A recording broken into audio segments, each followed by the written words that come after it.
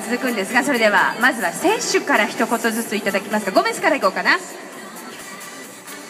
堀米選手からお願いします。えーまずはメンバー入り目指して、えー練習から100%でやるっていうことはここで本当に誓えるので、えー本当に熱い応援をよろしくお願いします。お願いしますえーまだ2試合しか終わってないですけど、えーチームとして手応えを感じているので、えーこれからどんどん良くなっていくと思うので、えー熱い声援をよろしくお願いします。河合選手お願いします。えーホーム開幕戦は本当に、えー悔しい思いをしたんですけども、えーまだ2試合ですしこれから1年本当に1試合でも多くの感動を皆さんに届けたいと思いますので皆さんでこう北海道を盛り上げていきましょう。よろしくお願いします。ありがとうございます大前監督お願いします。えー本当にいつも温かいご声援本当にあの感謝してます。まあそういう意味で本当にあのホーム開幕戦本当に結果出したかったんですけど本当に選手頑張ってくれました、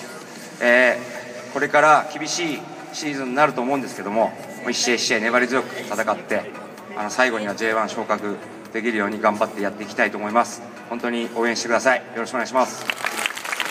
ありがとうございますそして野々村顧問よろしくお願いいたします。はい、えー平日なのに本当にたくさんの人に集まっていただいて抽選は120人ぐらいチケットを配ったんですよね、はい。その中からゴメスの妹を引き当てる ことができるということはそうですね。まだまだちょっとついてるなっていう感じうんがしたので大丈夫かなと思っちゃいました。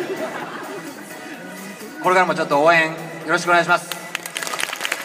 今季2013年のコンサドーレ札幌にも引き続き皆様熱い声援をよろしくお願いいたします。改めて顧問監督そして選手たちに大きな拍手をお送りくださいどうもありがとうございました。堀米選手上里選手河合選手大前監督そして野々村顧問